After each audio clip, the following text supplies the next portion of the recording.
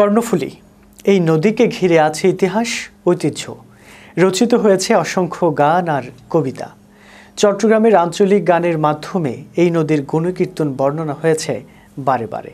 কর্ণফুলী নদীর প্রাচীন ইতিকথা নিয়ে শফিকুল্লাহ হাবিব ইমনের ক্যামেরায় আব্দুল কাদেরের বিশেষ প্রতিবেদন।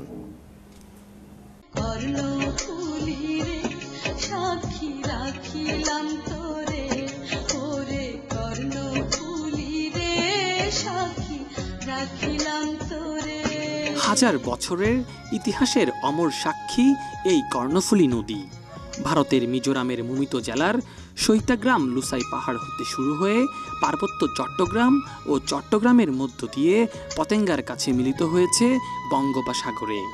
এই নদীর মোহনাতে বাংলাদেশের প্রধান সমুদ্র বন্দর অবস্থিত। এর দৈর্ঘ্য তিনশো বিশ কিলোমিটার। কর্ণফুলী নদীর নামের উৎস সম্পর্কে বিভিন্ন কাহিনী প্রচলিত আছে। কথিত আছে যে, আরাকানের এক রাজকন্যা চট্টগ্রামের এক আদিবাসী রাজপুত্রের প্রেমে পড়েন। তারা দুইজন ওই নদীতে নৌভ্রমণ করার সময় রাজকন্যার কানে গোজা একটি ফুল পানিতে পড়ে যায়। ফুলটি হারিয়ে রাজকন্যা সেটা উদ্ধারের জন্য ঝাঁপিয়ে পড়েন পানিতে। কিন্তু প্রবল স্রোতে ভেসে যান রাজকন্যা। রাজকন্যার শোকে রাজপুত্র পানিতে ডুবে আত্মাহুতি দেন। এই করুণ কাহিনী থেকেই নদীটির নাম হয় কর্ণফুলী। স্থানীয়রাও বলছেন কর্ণফুলীর এমন আদি কথা। মানে বলছে ওই লোক যাচ্ছে ওদের পানি ফুল ভরিয়েছে নাম হয়েছে। তখন মাছ কাছ মানুষ চাইতো পাইতো অনেক জাগির তো জাল দিয়ে পাইতো এখন তো মাছ পায় না। ওই যে যেটা সর আছে ওইখানে ওইখানে নদী ছিল। আমরা ছোটোখানে দেখছি এই স্বাধীনতার আগে আর কি, বেশ পঞ্চাশ বছর আগের কথা বলছি আমি।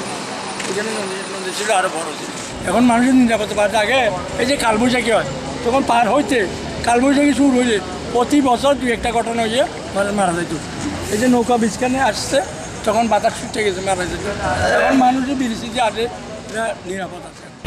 লুসায় ফাহা নামিয়ারে যার গই চট্টগ্রামের সংস্কৃতির সাথে কর্ণফুলীর ইতিহাস অনেকাংশেই জড়িত বলছেন এই বিশেষজ্ঞ। তবে আমাদের চট্টগ্রামের নদী নদীর সংখ্যা কিন্তু খুবই কম এবং গুরুত্বের দিক দিয়ে চট্টগ্রামের নদীগুলো কিন্তু অত্যন্ত গুরুত্বপূর্ণ। এর অন্যতম একটা নদী হচ্ছে আমাদের কর্ণফুলী নদী। আর গুরুত্বের দিক দিয়ে যদি আমরা চিন্তা করি, এটা আমরা বলি বাংলাদেশের অর্থনৈতিক মেরুদণ্ড। দেশ এই কর্ণফুলী নদীকে কেন্দ্র করে আমাদের বাংলাদেশের বৃহত্তম নদীবন্দর স্থাপিত। সুতরাং এখান থেকে কর্ণফুলী বাঁচলে বাংলাদেশ বাঁচবে।